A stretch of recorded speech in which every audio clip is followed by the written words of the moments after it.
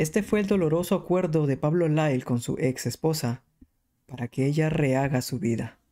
Vamos a verlo. A tan solo 18 meses de que Lyle fuera sentenciado a prisión por homicidio involuntario en Florida, Ana ha destapado una nueva relación amorosa con el estilista y fotógrafo Marco Lavín, gracias a una fotografía que ella publicó en sus redes sociales. La prensa ha estado siguiendo a Ana y Marco muy de cerca y los capturaron en Mazatlán, donde se les vio cómodos y felices.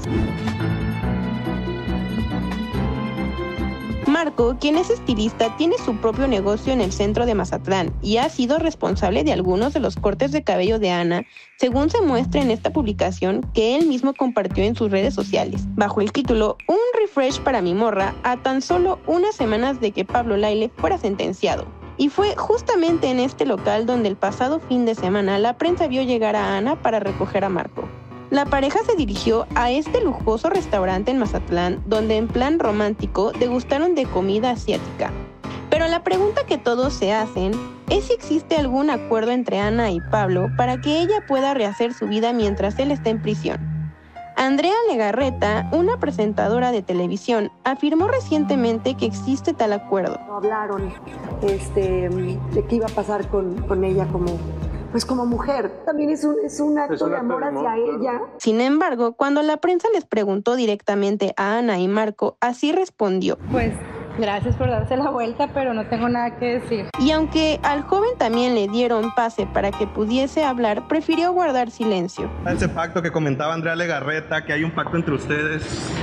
Este nuevo capítulo en la vida de Ana Araujo seguramente seguirá generando controversia y rumores en los medios de comunicación.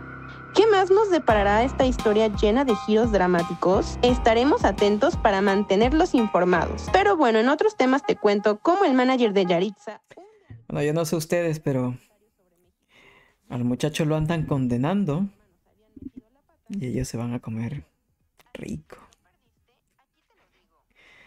Caray, qué difícil vida, ¿verdad? Se andan comiendo rico la comida y y otras cosas más. Pero que también que le manda al otro muchacho andar de boxeador. Hay que pensar mucho, chicos, los impulsos que tenemos en las calles. A veces en nuestro momento de... Mm, hacemos cosas que nos cambian radicalmente la vida. Nos cambian el destino totalmente. El actor tenía su vida, su familia. Y lo perdió todo.